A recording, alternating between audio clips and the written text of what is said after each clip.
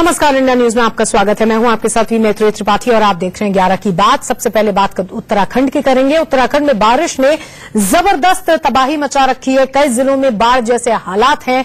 ऋषिकेश में बाढ़ के कारण कई मकान पानी में डूबे हैं।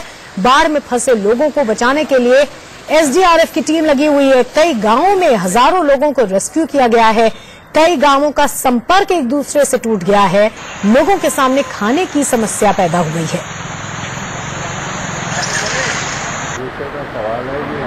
कमोवेश पूरे उत्तराखंड कर रही हैं लोगों को रेस्क्यू करने के लिए। कई जो गाँव हैं वो बिल्कुल आ, बाकी जगहों से कट ऑफ़ हो गए हैं। उनका संपर्क पूरी तरह से टूट गया है। और यहाँ तक कि लोगों को खाने पीने की चीज़ों को भी हासिल करने में दिक्कत हो रही है। लोगों को तकलीफ़ है काफ़ी। उत्तराखंड की अलग अलग जगहों की तस्वीर आप देख रहे हैं। अब आपको उत्तराखंड के हल्द्वानी की तस्वीर भी दिखाते हैं। यहाँ गौला नंदौर और कोसी नदी का उफान। ये तीनों नदियाँ उफान पर है। बारिश की वजह से सड़कों पर पानी भर गया है। लोगों के घरों में बारिश का पानी घुस गया है। घर से बाहर निकलना लोगों के लिए मुश्किल हो गया है।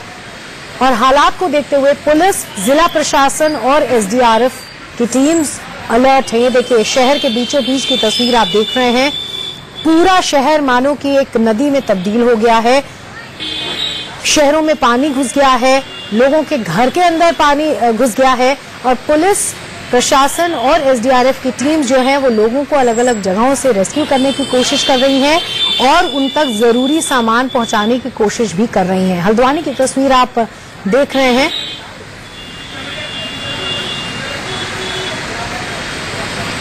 उत्तराखंड में अधिकांश जो इलाके हैं, वहाँ से इस तरह की तस्वीरें सामने आ रही हैं।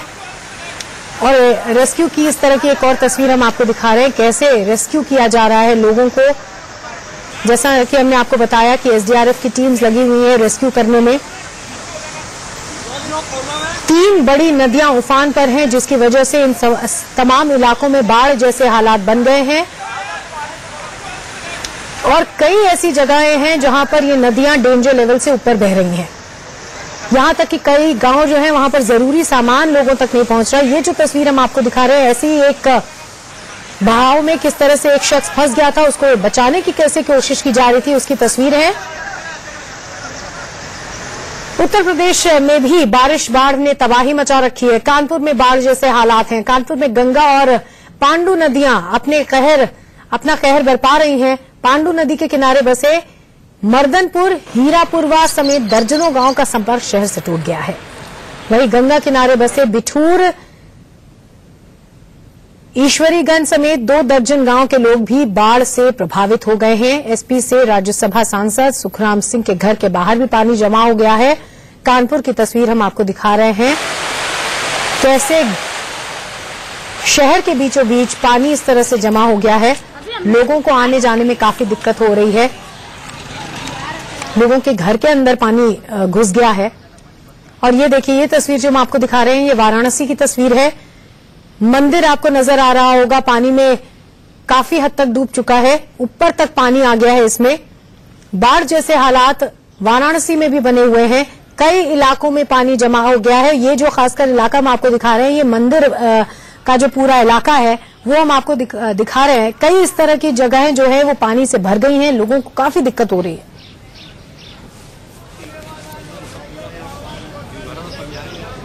वाराणसी की तस्वीर, किस तरह लोग मंदिर का जो परिसर है, उसके आसपास की जगह में दिक्कत लोगों को हो रही है। फैजाबाद की तस्वीर भी हम आपको दिखा रहे हैं। यहाँ पर कैसे पानी भर गया है? यहाँ पे भी कई इलाकों में बाढ़ जैसे हालात हैं। लोगों को आवाजाही में और रोज़मर्रा की ज़िंदगी में काफ़ी दिक्कत हो रही है और कटाव भी काफ़ी हो रहा है नदी की वजह से।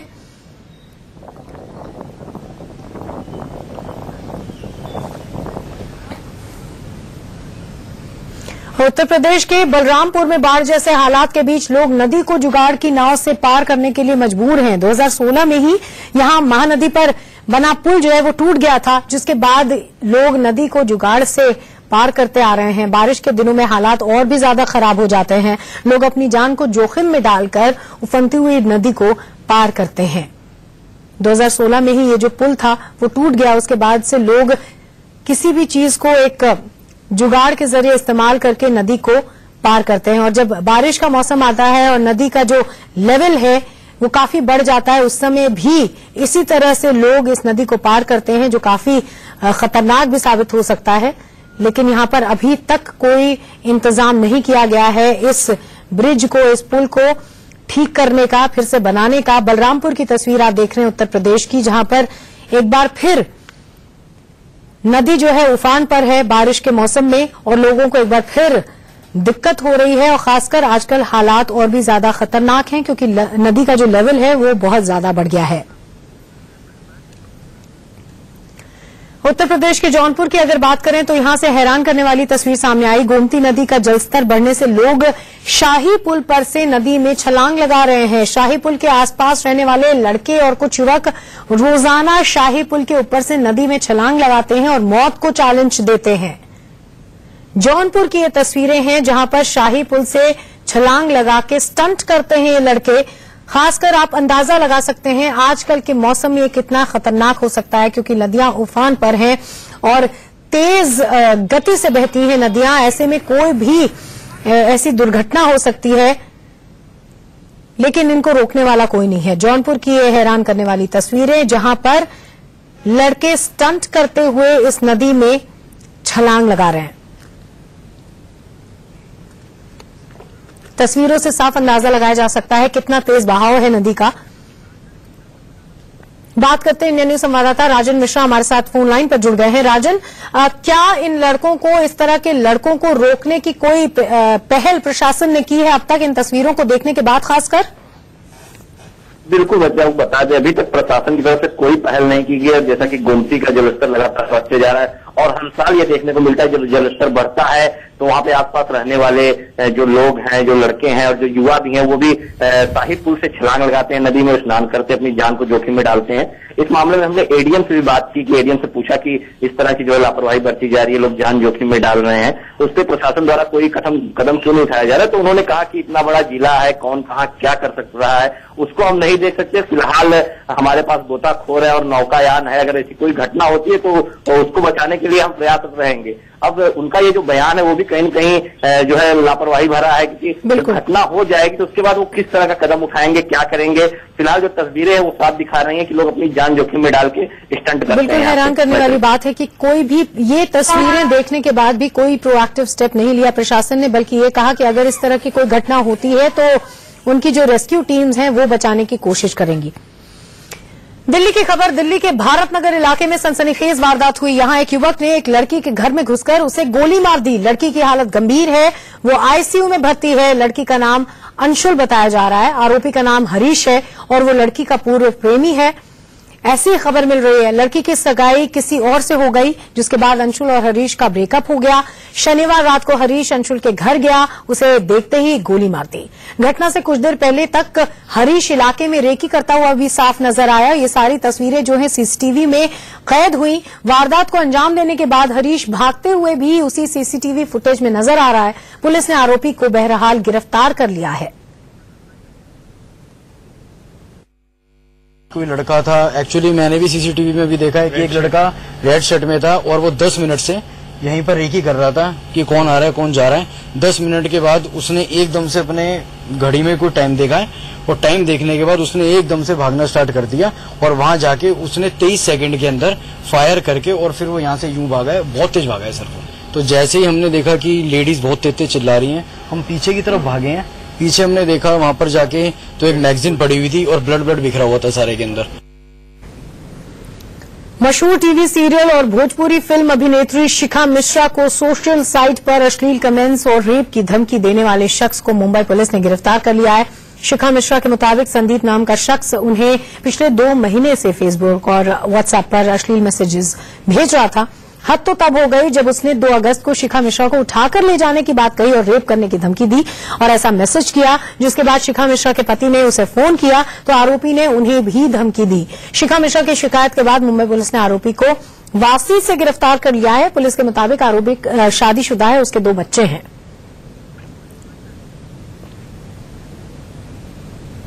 मुझे इतना गंदा कमेंट किया कि मैं इग्नोर नहीं कर पाई और फिर मैंने उसे रिप्लाई किया। फेसबुक पे। और काफ़ी मतलब मैंने समझाने की कोशिश भी की मैंने उसे। तो फिर मैं उसके बाद पुलिस स्टेशन आई। और कहीं ना कहीं मेरे हस्बैंड ने, उसने व्हाट्सएप नंबर भी दिया था अपना।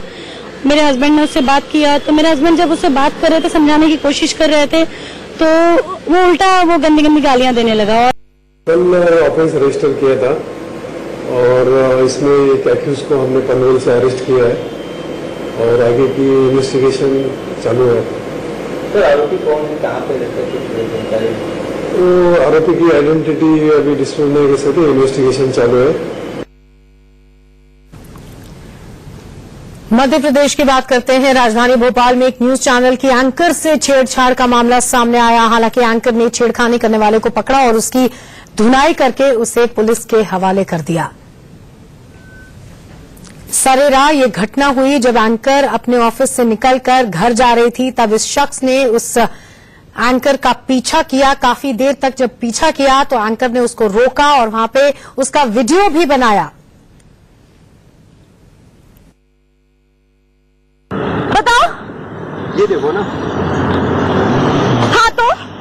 अपराधित लड़की छेड़कर सॉरी करोगे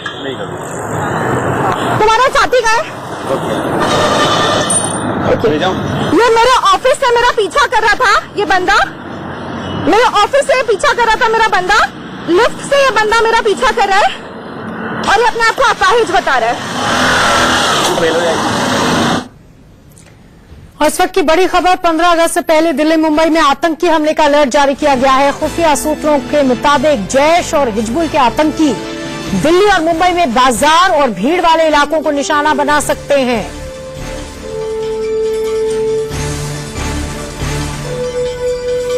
बात करते हैं इंडिया न्यूज़ संवाददाता रजनीश हमारे साथ फ़ोन लाइन पर जुड़ गए। हैं रजनीश, क्या खबर मिल रही है?